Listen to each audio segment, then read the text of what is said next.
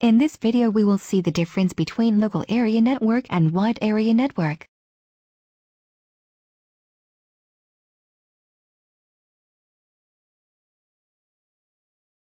Short for local area network. Short for wide area network. LAN connects a group of computers in a limited area. And wide area network covers large areas such as city, state and country. In local area network ownership of network is private. In wide area network ownership of network is private or public. In local area network propagation delay is short. In wide area network propagation delay is long. In local area network we have high speed up to 1000 megabits per second. And in wide area network speed is slow up to 150 megabits per second.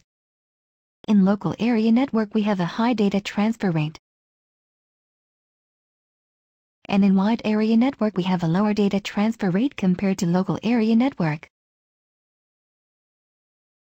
Local area network is more tolerant to fault.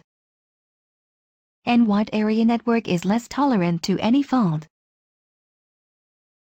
In local area network there is fewer data transmission errors. But in wide area network there is more data transmission errors as compared to local area network. High bandwidth available for transmission in local area network but low bandwidth available for transmission in wide area network.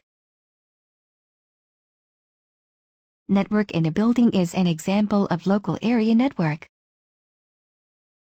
And Internet is a good example of wide area network. Thank you for watching. Please like, share and subscribe to our channel.